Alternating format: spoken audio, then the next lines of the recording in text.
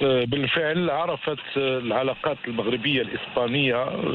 في السنة الماضية نوع من الانتعاش. من بعد أن عاشت أزمة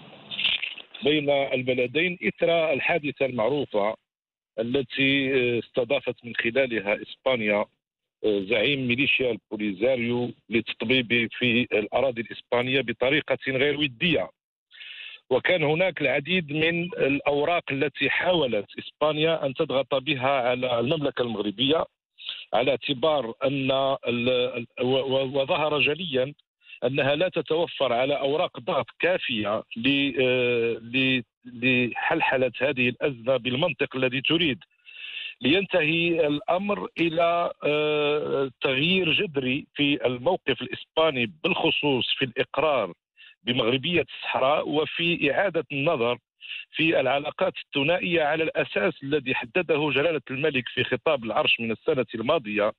والذي أشار فيه إلى أن المغرب دولة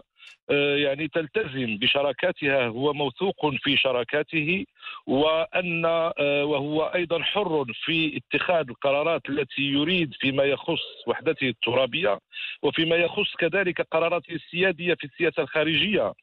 وظهر هذا التوجه الذي حدده جلالة الملك انطلاقا من القمة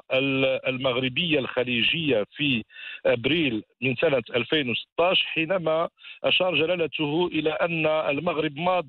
في تنويع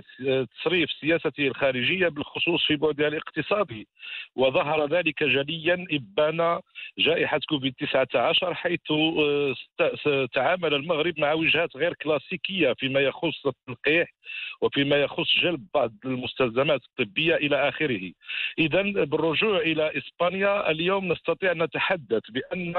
الحكومة الإسبانية بمواقفها الجديدة وبالانخراط مباشرة في آه، تعزيز الشراكة القائمة أصلا على أسس جديدة هو يعطي آه، نوع من آه، النفس المتجدد الذي يحققه المغرب بالنسبة لقضيته الوطنية وهو يسحب البساط على